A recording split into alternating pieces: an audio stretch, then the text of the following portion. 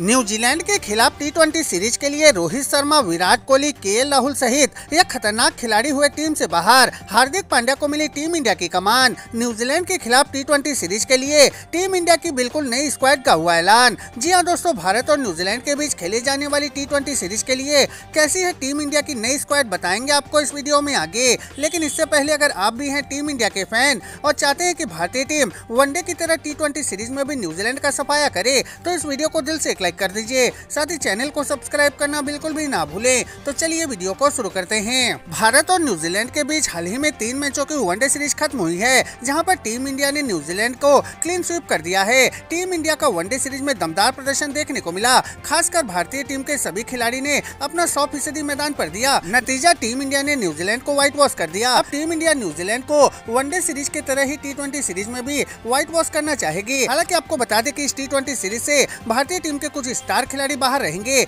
जिसमें कप्तान रोहित शर्मा, विराट कोहली सहित के राहुल का भी नाम शामिल है। ऐसे में अब हार्दिक पांड्या की कप्तानी में टीम इंडिया न्यूजीलैंड के साथ टी सीरीज़ में भिड़ने जा रही है। तो चलिए दोस्तों, आपको बताते हैं कि हार्दिक पांड्या की अगुवाई में टीम इंडिया किस स्क्वाड के साथ न्यूजीलैंड के खिलाफ टी सीरीज़ में भिड़ेगी? आपको बता दें कि हार्दिक पांड्या टीम के कप्तान हैं, जबकि टीम के उप कप्तानी की ज़िम्मेदारी सूर्य कुमार यादव को सौंपी गई है।